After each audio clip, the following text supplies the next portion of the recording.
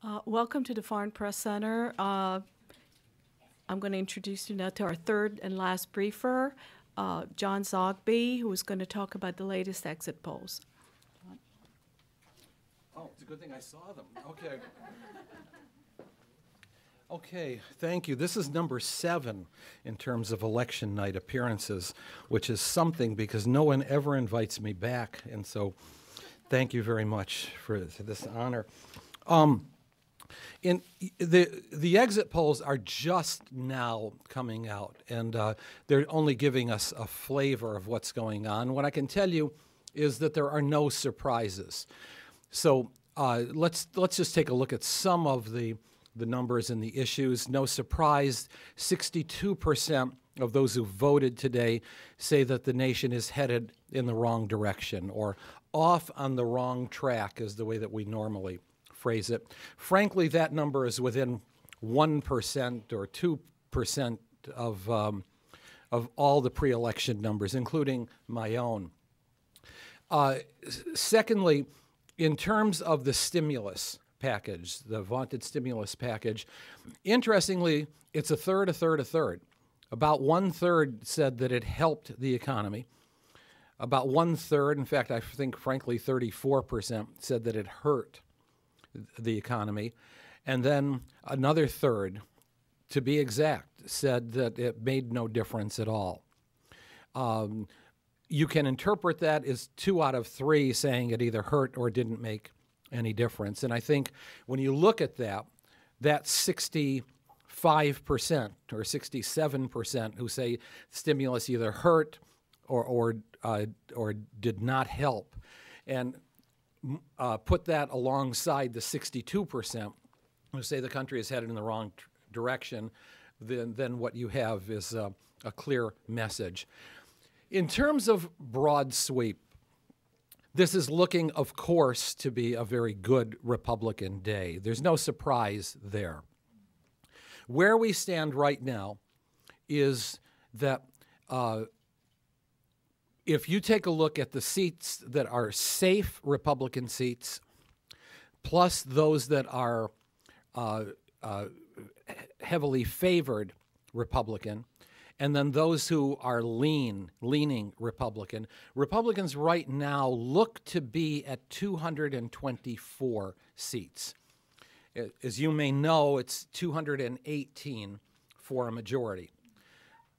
What that means at 224 is that already we are looking at uh, uh, 44, per, uh, 44 seat pickup. All, that's already.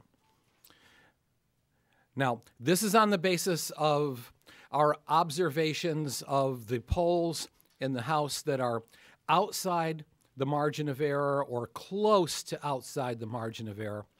Now, there are still 44 seats that are toss ups. From there, the question is how many of those seats will Republicans win? And the honest answer is we don't know. What we do know, however, is that they've already picked up uh, 46 seats um, already, meaning it's very likely that they've already picked up 46 seats. So from there, I wouldn't even venture a guess. What are the variables? Obviously, turnout. Uh, and you have mixed reports today. I've learned over the many years that I've been doing this to treat those reports about turnout in various precincts and observations as urban legends. Um, people oftentimes see what they want to see. And now, of course, they blog what they want to blog about seeing what they want to see. So I distrust them. If there is a high voter turnout in urban areas, some media are reporting that. I don't know the evidence, however. But if there is a high turnout in urban areas, that could mean higher than normal turnouts among African Americans, Latinos, Democratic constituencies. In all honesty, we really don't know about that.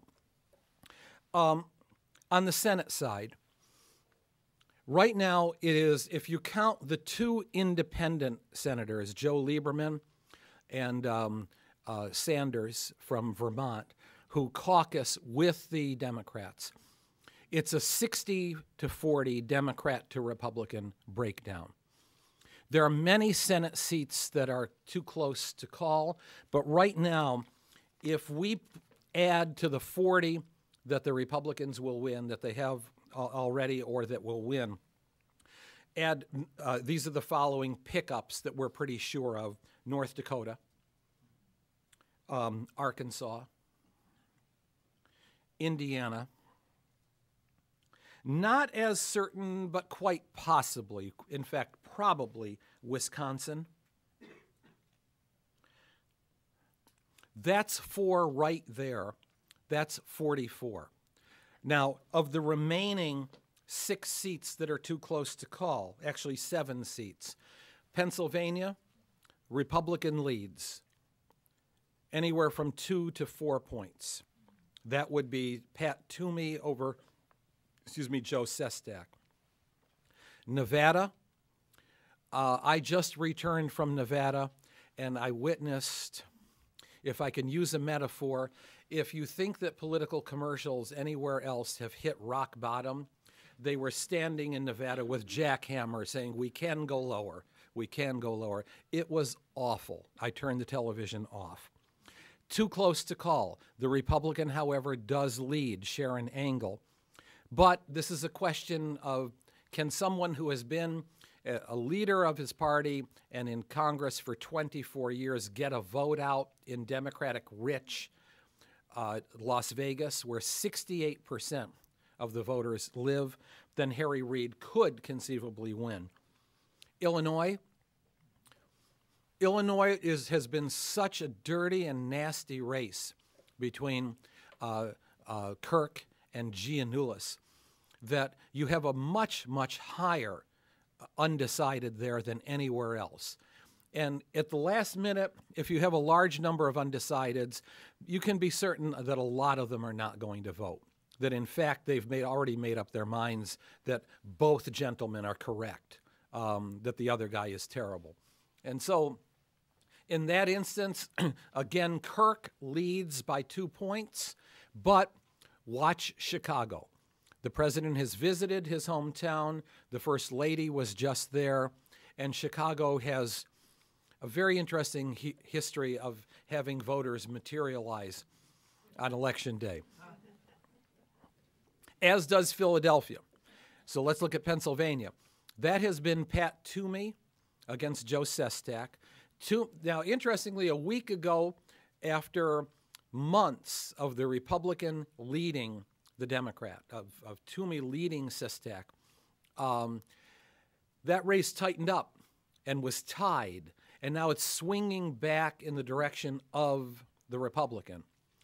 The really interesting thing about Pennsylvania is that I call it the land of conservative Democrats and moderate Republicans.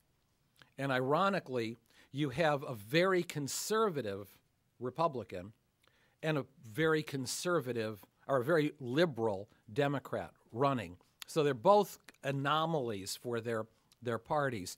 But again, uh, we have to look at turnout and we have to look at the city of Philadelphia.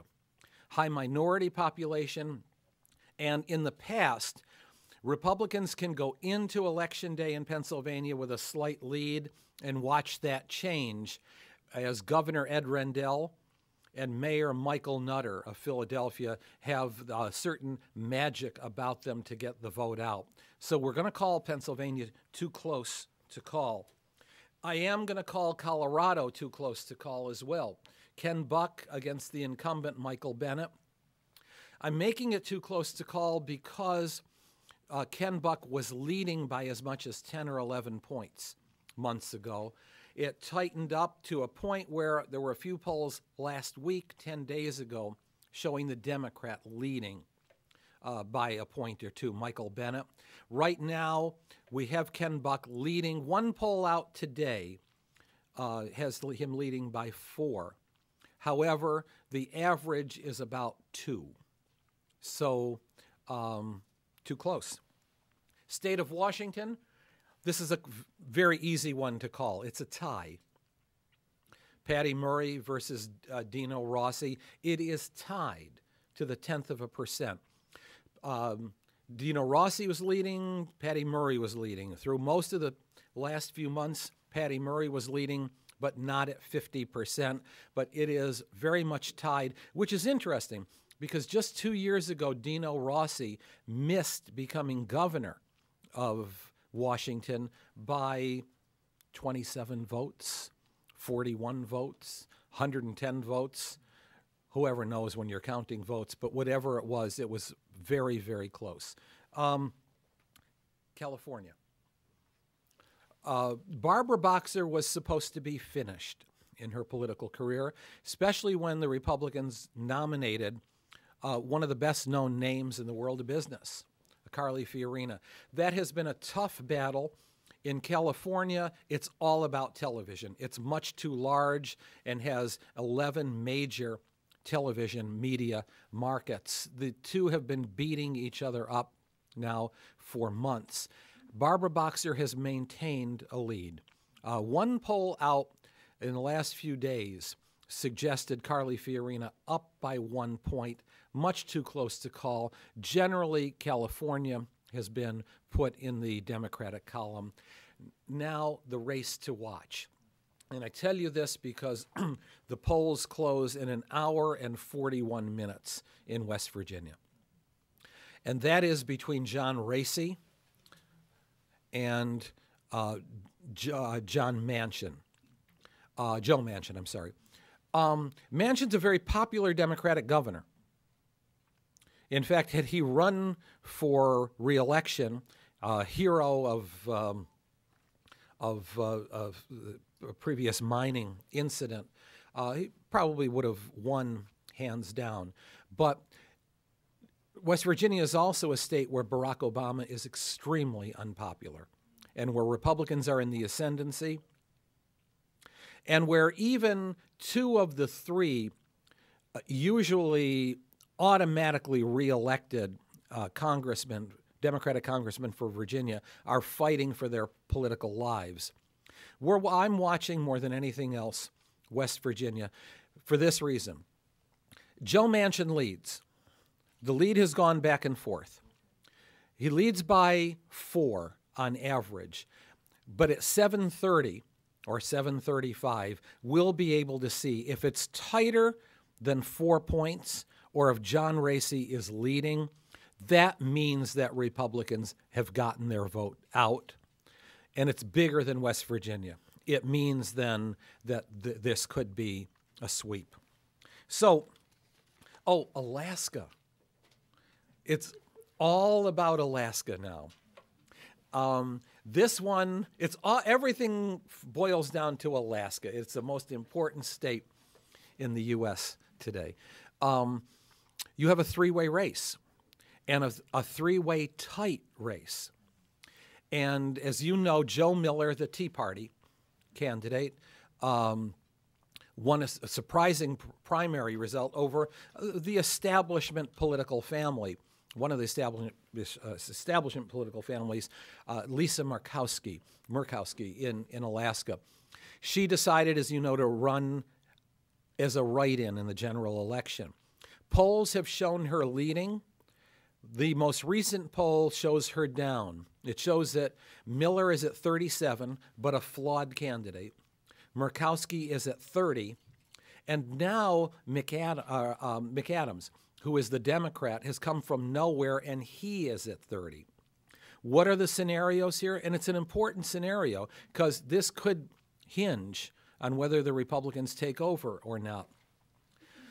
Joe Miller, um, now leading, but he's been flawed. There, he's been charged with ethical, even criminal violations, and also had a reporter arrested, or at least his private security had a reporter arrested, which, if you want good publicity, it's not good to be a part of having a reporter arrested. Uh, uh, secondly, Lisa Murkowski. Um, her problem, of course, is that she is the establishment in a non establishment year, but voters who select her, they may say it over the telephone, but they have to write her name in. And the way these laws work, they have to spell it correctly. If it's spelled incorrectly, if it's close in any way, if she wins, we're looking at a court battle. And as you know, court battles do not take hours or days. Meanwhile, as the two of those candidates really beat each other up, McAdams just slowly plods along at 30% and could, let's just say, conceivably win. Conceivably, that's all. If he wins, it is so against the grain of what may be happening in the rest of the country, it would be a Democratic victory at a time when Republicans are looking to, they weren't counting on losing Alaska. So put that down then as another I don't know. If I may, can I just make a few more comments? How much time do we have?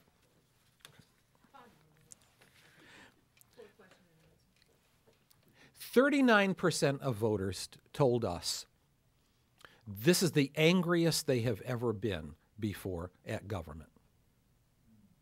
Another 23% told us this is the most disappointed that they've ever been before.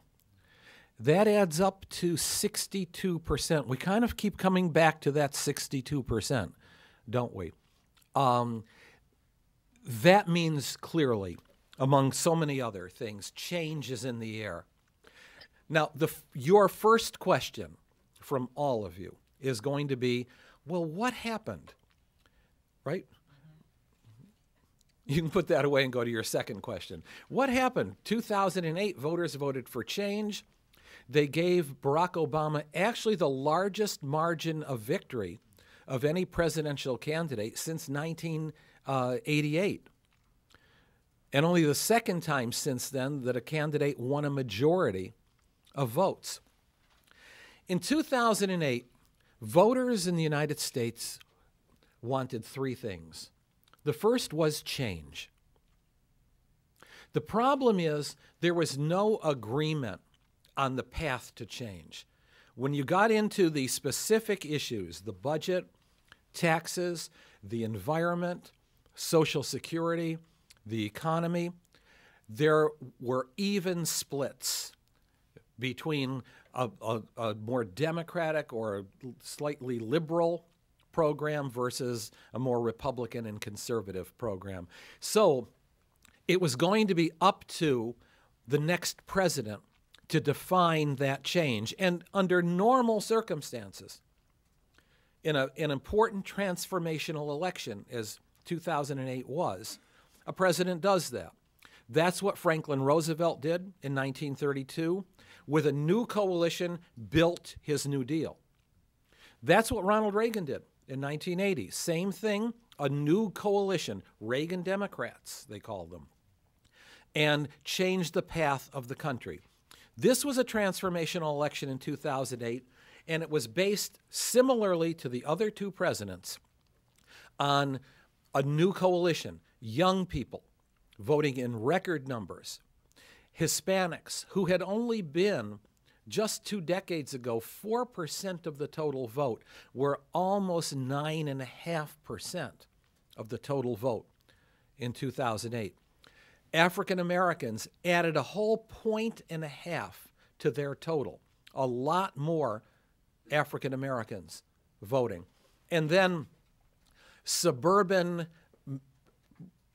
employees and leaders of the new economy. Those, that was the governing coalition that Obama came in with. His problem was the other two pieces that voters were expecting.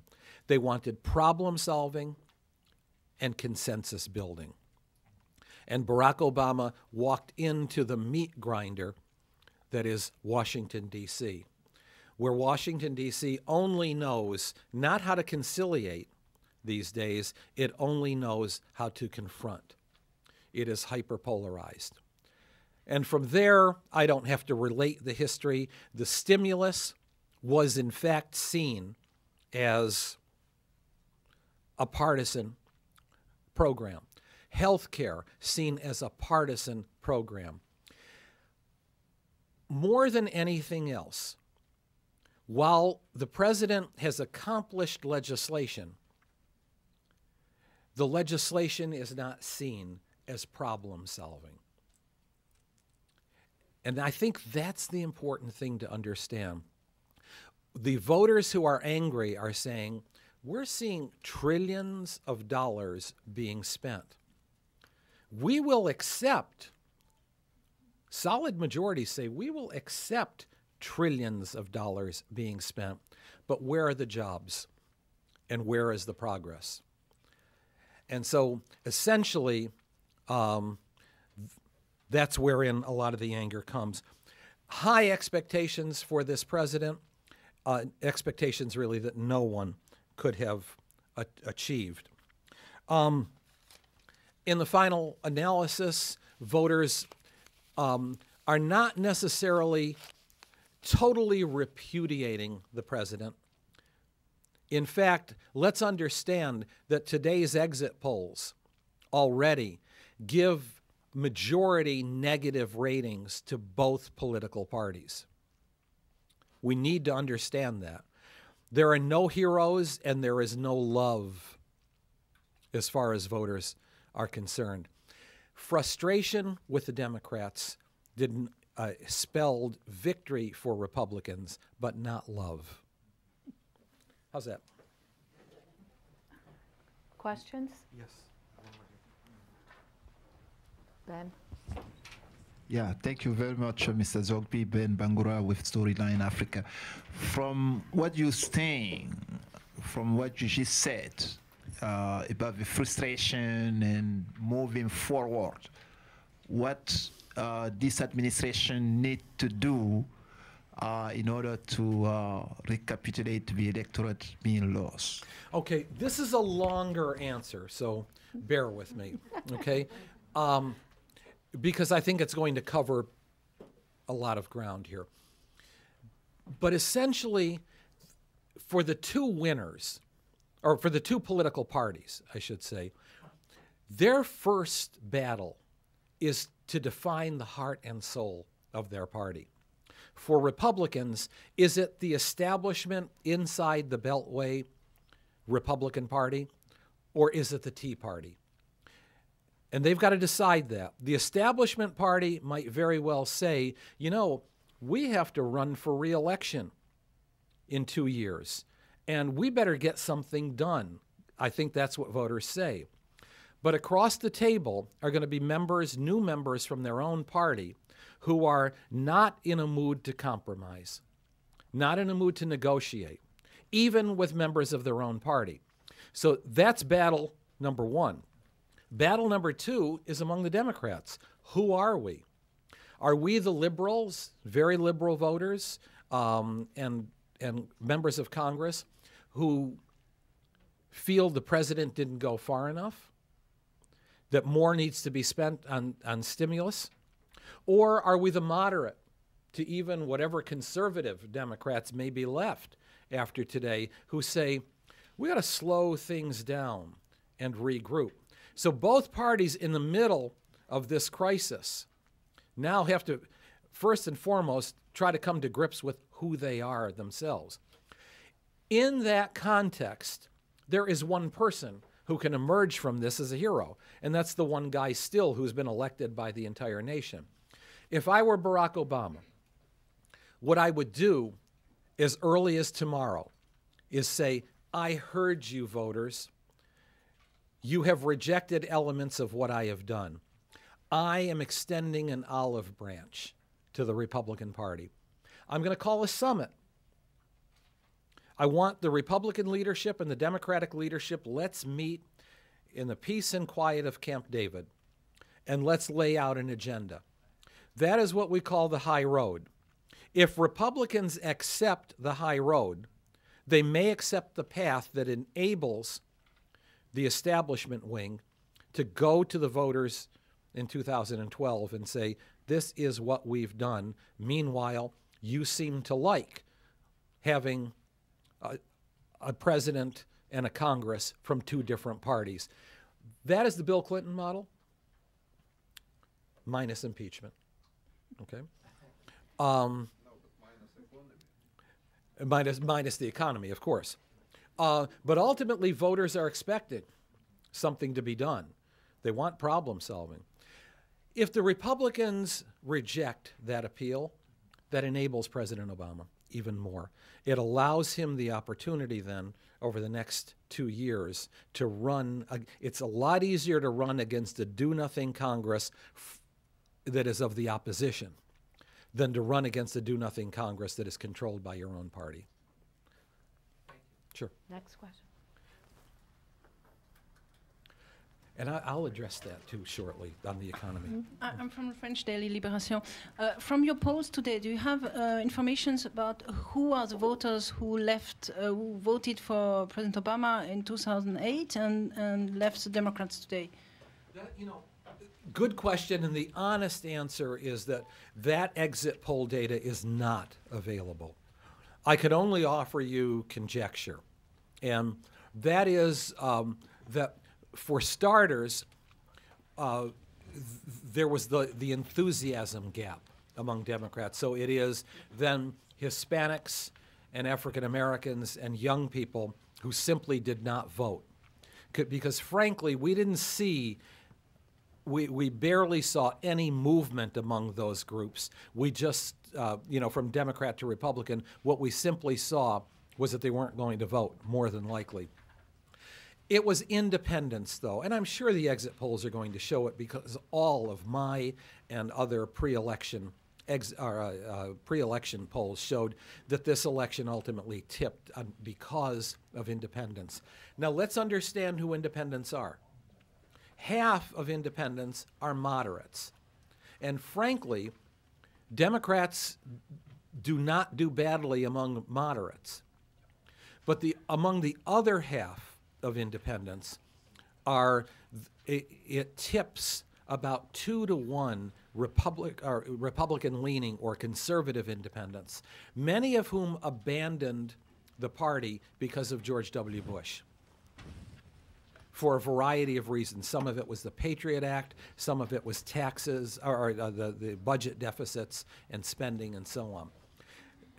What happened is it, it was clearly enough to energize those conservative uh, leaning independents and some moderate leaning independents to give a big advantage among independents. And that's ultimately what won. Meanwhile, um, uh, Democrats are supporting Democrats and Republicans supporting Republicans, just fewer Democrats.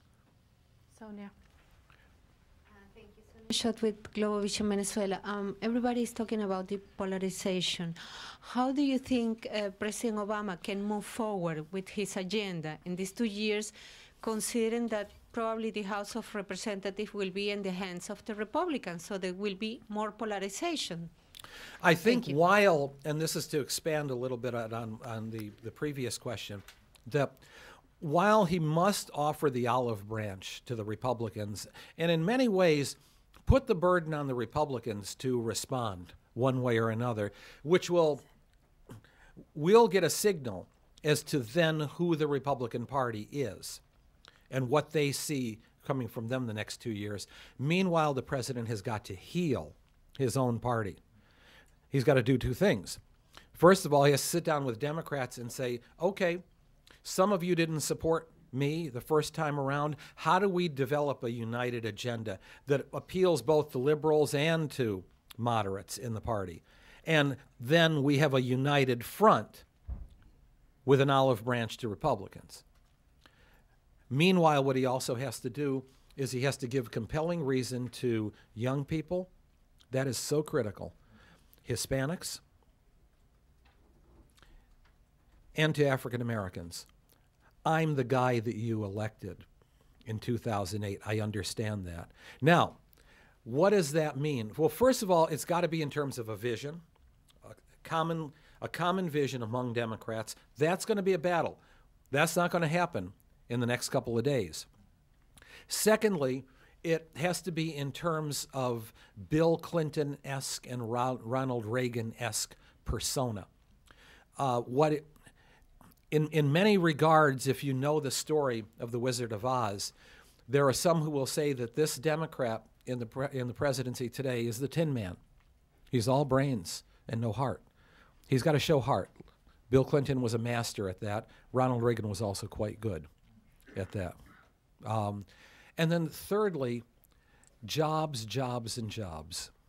Now, if you can't get stimulus passed, more stimulus, and you probably won't, what you have to do is go back to the original stimulus and say, where are those projects? Where's that money that actually puts people to work?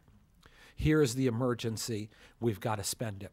And that's where the pressure has got to come from Democratic mayors, from all mayors, from governors.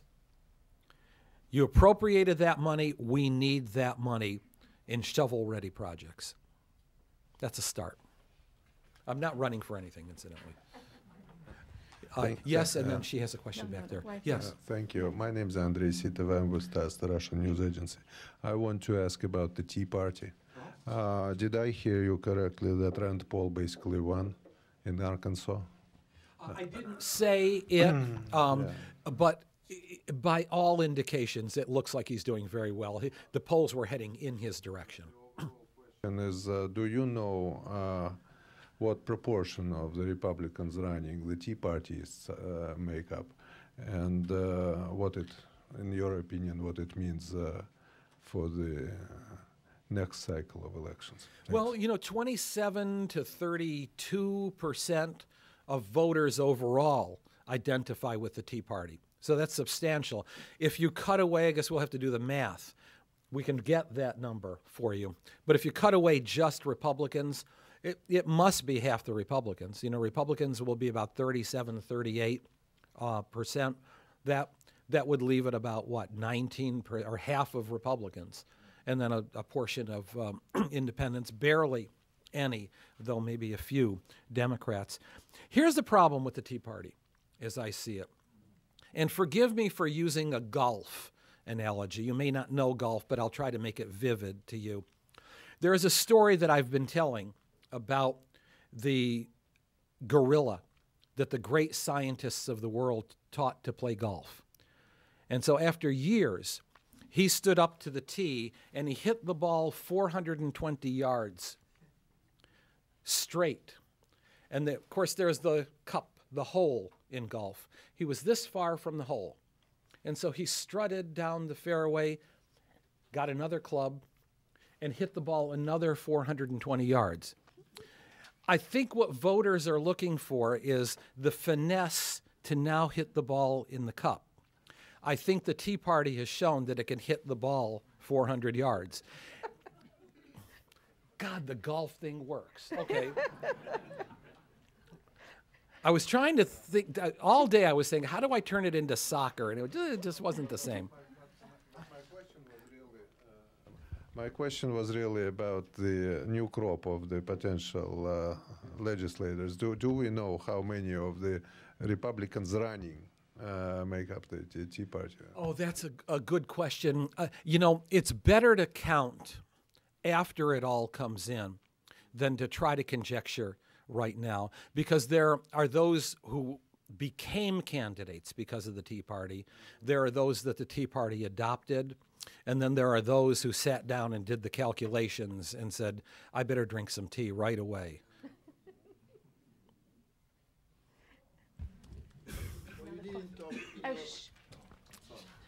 I, I, she has a question back oh, here. Oh, yeah, Back new there. question? Yeah, back there. We'll get back. Sorry, here you are. Thank you very much. Good evening, Mr. Zogby. My name is Dagmar Benešova, Slovakia World Business Press Online. Well, my question is, today you mentioned that 62% of voters think that the United States go the wrong direction. Which direction will the US go after this midterm election, according to you? And will it have just a ish, um, influence on domestic issues also, or also on international dec- decisions? Thank you very much. You look like such a nice person to ask me such a nasty, difficult question like that. Um,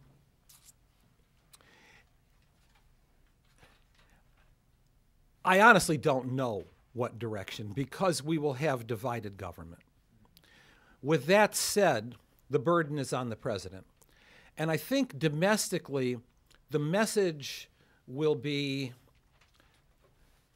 slow it down.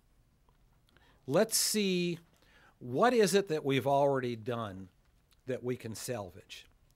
I talked about the stimulus. Uh, what is left of the stimulus that has been earmarked to be spent? How can it then be spent to create jobs?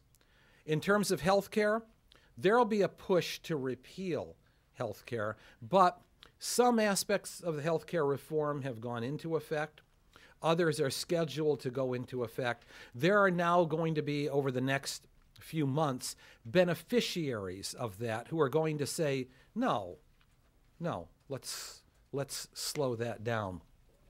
Um, in terms of government priorities, it will have to be jobs, jobs, and jobs, whether that's more stimulus or whether that's in the form of tax cuts that enable investment. Let's be honest about one thing, and that is, and I wrote about this in my book two years ago, we are not spending the way we used to spend as a people, and we won't be spending. This is a, a generational impact that has more to do with Americans rediscovering their own priorities than it has to do with this specific recession, although this recession has certainly underscored that, that sensibility. And so clearly, if people are not going to spend this economy back into health, where is that money going to come from? In the first couple of years, it had to come from the government. And I think, frankly, that many Republicans will say the same thing. But now, it's going to have to come from the private sector. What enables people to become entrepreneurs, to expand their businesses? And so this is where we're looking at the proper balance now between new spending, priorities, but also between tax uh, uh, involving proper kinds of tax cuts that enable economic development. Um, globally, th- this was a domestic election, had little to do with, with foreign policy. Uh, today's exit poll indicated that the top issue for voters was the economy, 62%, and another 19% said health care. Uh, the only foreign, and I, you know, I saw these really quickly. The only foreign policy issue was Afghanistan, at seven percent. And so, a president does get to define his own foreign policy, and uh, the, you know, a change in any possible direction there, at least that's voter driven, won't come until 2012. Anybody know? Okay, right there. Let's do one, two, and then I know these two gentlemen would like to come back. I, I'm here, so. Uh, Alphas from Aftenposten Oslo. Does that, does that mean that you just recently said that the fear of terror is away and that the American doesn't fear terror anymore? Oh, no. No, it doesn't at all. It, it means that in terms of safety and security, the economy is crowding out the issues. Um, and, and of course, why wouldn't it? One out of three Americans that have health insurance through their employer are afraid of losing all or some of those benefits. Those are the sorts of things that, in the immediate, when people wake up in the morning and say, you know, thank God I'm awake, I'm healthy. If I'm not healthy, I can pay for it. I can get the kids to school, I can buy them shoes, and so on. Um, terrorism, in that sense, when there is a specific calamity or event, obviously trumps. But it hasn't dissipated, it's just been pushed because of uh, another concern.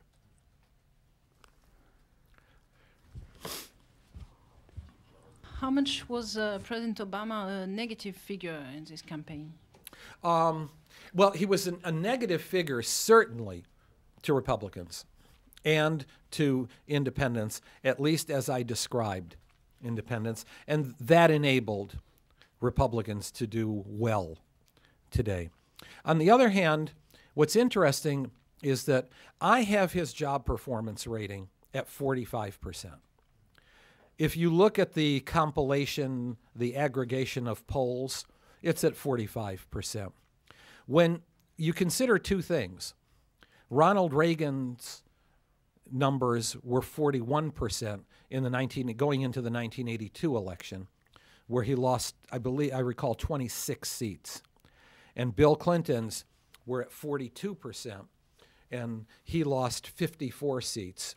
It's um, it's understandable that the, the president would lose seats. Also understandable that he, he, he does have a base of support.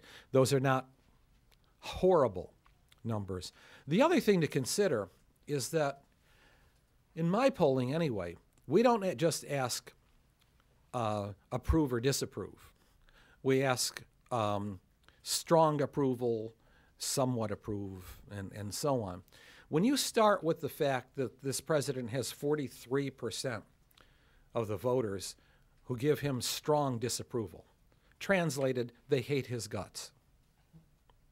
Um, then when you look at 45%, and you say, well, you know, um, that's not so bad. That's almost everybody else. And the best he could do, you know, is 55. He's got 45.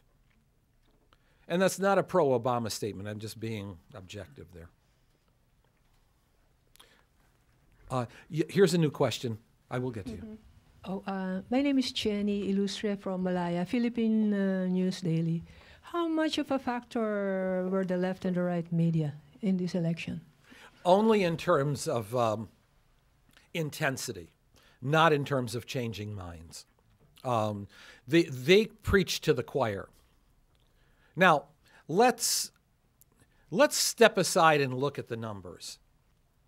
Three and a half to three and three quarter million Americans watch Bill O'Reilly at night. Translated, about 302 to 304 million Americans do not watch Bill O'Reilly every night. Um, 306 or 7 million do not watch um, Keith Olbermann on MSNBC. So the thing is, these are factors that preach to the choir, energize the base, but don't necessarily appeal to independents. People who are independent, of their nature, are following it less, are sticking to their priorities, which is, as I mentioned, getting the kids to school on time and putting food on the table, and so on. Now, the way you reach them is that quick 30 second ad.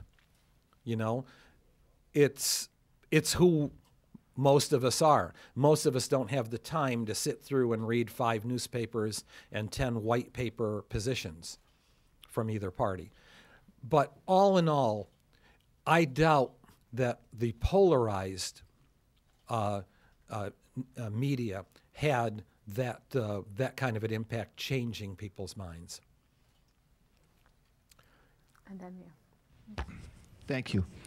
Getting back to healthcare uh, legislation, um, this you know before election in in in, in, in 2008, this was uh, a serious issue, and uh, uh the Congress uh, passed quite time on it to make it happen. But the blame is on healthcare, and many pundit people around the country, I believe, um, suggest that they were lost in the communication, even though there are a lot of good things you mentioned in, in this health legislation. What is your finding in that? What, what I mean, what went, went wrong in terms of uh, uh, portraying this legislation as uh, a best tool for addressing American health crisis? Well, there are a number of things that went wrong. Let's try to list them quickly. Number one, that there was a clear, defined opposition. Not one Republican supported it or gave an indication they would support it. One, one Republican in the House, um, no one in the Senate. And so that leads to number two, that to the degree that there was debate, it was debate within the, the Democratic Party. Number three is that you can make the case that the country's priorities shifted. Healthcare was the top economic concern until the Great Recession. And then with the Great Recession, it was jobs, jobs, and jobs. Um, but this debate got bogged down in details over health care. Number four, wherever we are, if you take a look at most of the elements of the health care package, a majority supports individual elements. When you call it Obamacare, a majority opposes it because the majority opposes Barack Obama. And so the Republicans did a very good job in terms of defining the core values of their base and conservative leaning independents death panels, socialism, Obamacare. Um, Democrats are very good with charts. I've always said hearts beats charts all the time. I think Republicans captured the hearts. I also think, wherever we are, five, six, or seven, that summers are cruel, particularly Augusts are cruel to Democrats. And I guess no Democrat should ever go on vacation in August because while this is August of 09, but August of 2010 wasn't so good either. Uh, August of 2008, incidentally, was when Obama's numbers started to go down. Uh, then there was John Kerry and Michael Dukakis, and those are other stories in different, different eras. But the president disappeared at a time when he allowed Republicans to focus on that short bumper sticker. He was away. And that was the time to win hearts and minds. So I think you add all of those up. Yes, sir. Thanks. Uh, when uh, when you were asked about what the president will do next, I assumed you will automatically respond he'll run to the center, and you didn't. Uh, why didn't you? And uh, does he have an option not to run to the center? Oh, okay. I, I thought maybe I said it, I'll, but, but I'll be clear. And these come under shoulds, not anything that I know specifically. He's, he must extend an olive branch. He just uh, no matter which way you look at it, there's repudiation today. So he must extend an olive branch, but at the same time, this is another way of, of answering your question. I'm just repeating it again. He's got to find the heart and soul of the Democratic Party. Is the Democratic Party going to be the Huffington Post and the Daily Kos that says, you don't do enough, you don't do enough, you don't do enough, you don't do enough?